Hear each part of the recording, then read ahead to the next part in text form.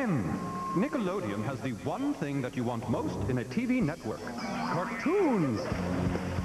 And action. Two. The two things you want most in a network, cartoons and action. And big stars! That's three. Three things you want most, cartoons, action, and big stars. And comedy. Four. That's four things. Nick has four things you want. One, action. Two, comedy. Three, big stars. And four, cartoons.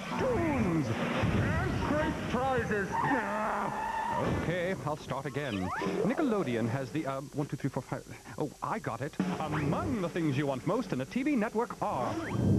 Action comedy, big stars, Nicktoons, great prizes, a stick with a yellow nose, radical sports, aliens, people who hang lizards off their tongue.